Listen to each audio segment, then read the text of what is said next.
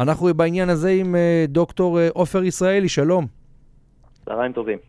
מרצה וחוקר בבית הספר לממשל הבינתחומי הרצליה. אנחנו מדברים על 24 שעות כמעט לקראת, ה, לקראת יום הבוחר האמריקני. בואו נדבר קודם כל על דפוסי ההתנהלות, דפוסי ה...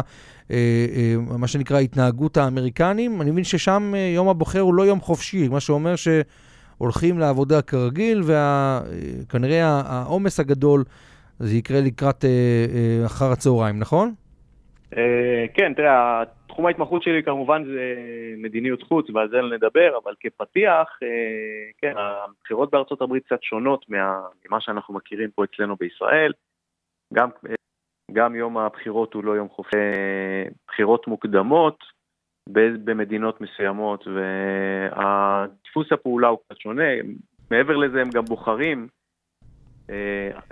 ביום הבחירות הם למעשה אמורים להחליט בין הרבה הרבה גורמים ומועמדים גם לתפקידים אחרים, לא רק לנשיאות, גם לבתי הקונגרס וגם כן. חלק מהמקומות לתפקידים מקומיים אפילו. כן, אתה יודע, אם כבר מדברים על הבדלים, אז שמתי לב שלמשל, אצלנו, הסקרים כבר אסור לערוך בשבוע האחרון, נדמה לי, או בימים האחרונים לקראת הבחירות, פה אנחנו רואים סקרים ממש עד הרגע האחרון, דברים שלכאורה כמובן יכולים להשפיע על דעת, דעת הקהל האמריקנית, בקטע הזה גם הם שונים מאיתנו, נכון? כן, וגם אפשר להתייחס, בנוסף למה שאמרת, כמובן שאתה צודק, אפשר להתייחס גם ל... הייתי אומר סמי מעורבות, אולי לא מתוכננת, של מערכות שלטוניות כאלה ואחרות, דוגמת ההצהרה של ראש ה-FBI, ההצהרה הראשונה וההצהרה שהוא לאחר מכן למעשה הודיע אותה אתמול או היום, כן. בנוגע לחקירה. זאת אומרת, גם דברים כאלה הם בדרך כלל בישראל, אנחנו יותר נקיים מהבחינה הזאת. טוב, אז יש, הרבה יש. יותר נקייה. כן, אמרת נקיים יותר, אז הנה, יכול להיות שהאח הגדול, כמה שהוא דמוקרט ויותר, אתה יודע, מסמן את ה... פתיחות ודמוקרטיה, כנראה שיש דברים שאנחנו יותר שמרניים וגם יותר יעילים בקטע הזה. טוב, בואו בוא נדבר כן. על... על בעצם איך, איך יש לנו שני מועמדים כרגע, שאת טראמפ ואת קלינטון. בישראל אנחנו רואים שראש הממשלה אתמול למשל הוציא הודעה די פרווה, כמובן, שהיא מודיעה על כך שהיחסים שלנו עם הברית יישארו איתנים ואף יתחזקו, ולא משנה מי יזכה, המועמד הוא המועמדת. ההתנהלות הישראלית מול הבחירות בארצות הברית, זה מה שצריך להיות, שהמעורבות שלנו, או הבעת הדעה שלנו, צריכה להיות יותר, מה שנקרא, להישמע יותר? בוודאי שככה היה צריך להתנהג, וגם במערכות בחירות קודמות לדעתי. מדינת ישראל צריכה למשוך את ידיה ממעורבות בפוליטיקה האמריקאית, היא חייבת לשמר מצב שבו אנחנו מקבלים תמיכה משתי המפלגות גם יחד.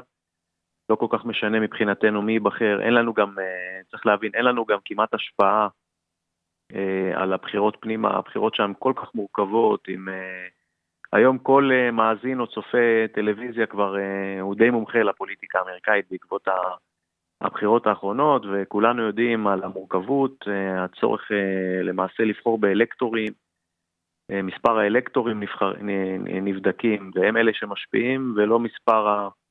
הקולות בפועל, כן. כן, ולכן עשה טוב ראש הממשלה בסיבוב הזה, שלא התערב ושמר על ניטרליות מוחלטת.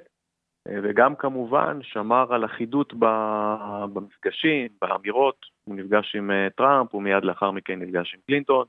זאת אומרת, השמירה על הבלנס הזה, על האיזון, היה מאוד מאוד חשוב ומאוד מאוד נכון.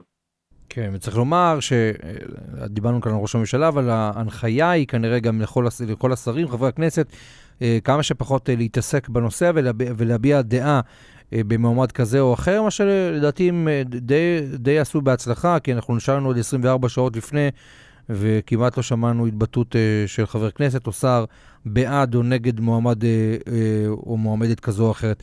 אבל אני רוצה לשאול אותך, מבחינה, הפרוצד... מבחינת הפרוצד... הפרוצדורה האמריקנית, בגלל שמדובר במיליוני בני אדם, הבחירות מתחילות מחר בשעה הזו פחות או יותר, נגיד 7-8 בבוקר, שעון ארצות הברית, מסתיימות במתי? 10 בלילה?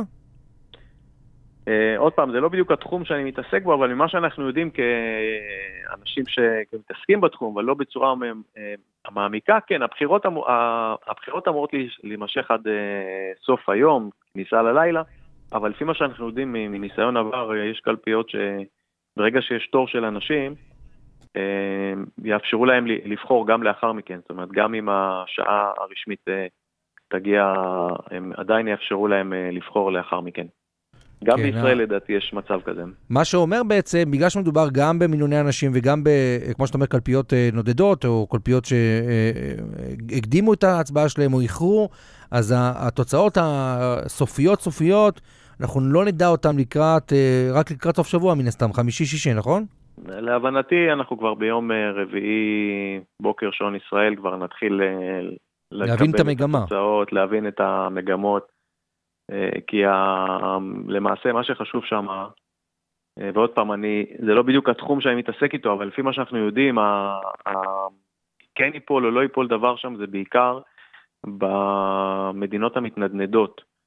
אה, יש מדינות שהן די בטוחות לצד כזה או אחר, והמיטב המאמץ של הסוקרים יהיה דווקא לנסות לפענח מה, בעצם מה היה דפוס ההצבעה במדינות המתנדנדות.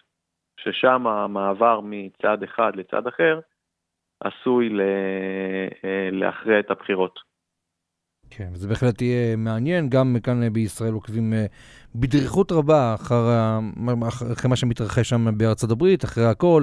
אה, הבית הלבן הוא כתובת, בדרך כלל כתובת שבישראל אוהבים להשתמש איתה ולהיות איתה ביחסים טובים, למרות שב... בוודאי, כן, בוודאי, כי צריך לזכור לא... שכל ההתנהלות כן. של הנשיא האמריקאי, הנשיא או הנשיאה שייבחרו, יש להם השפעה אדירה גם על מדיניות החוץ האמריקאית וגם כמובן אה, אה, לא רק על ישראל, אבל אה, גם על המזרח התיכון באופן כללי, על יחסי, יחסי ארצות הברית עם מדינות מפתח פה באזור, שעשויות, שהיחסים האלה עשויים להשפיע מאוד על מדינת ישראל. דוגמה, דפוס התנהלות שלהם אל מול איראן, אנחנו לא מזמן דיברנו, לפני מספר חודשים שוחחנו על הנושא של הסכם הגרעין עם איראן.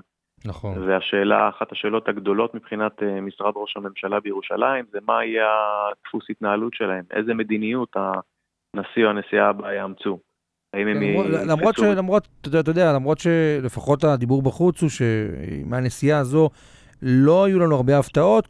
במסגרת הממשל של אובמה, הסימן השאלה הגדול באמת הוא מה יעשה טראמפ אם וכאשר הוא יזכה בכיסא הזה של נשיא ארה"ב, אדם, אה, צריך לומר, לא, לא, לא לגמרי ברור מבחינת הצהרות שלו והמעשים העתידיים שלו, שזה בהחלט יהיה אה, מעניין לראות את התגובות שלו אם וכאשר הוא ייבחר.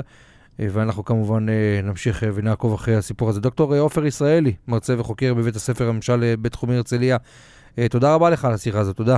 תודה רבה לכם, יום טוב. תודה, שיהיה בהצלחה. תודה, שיהיה...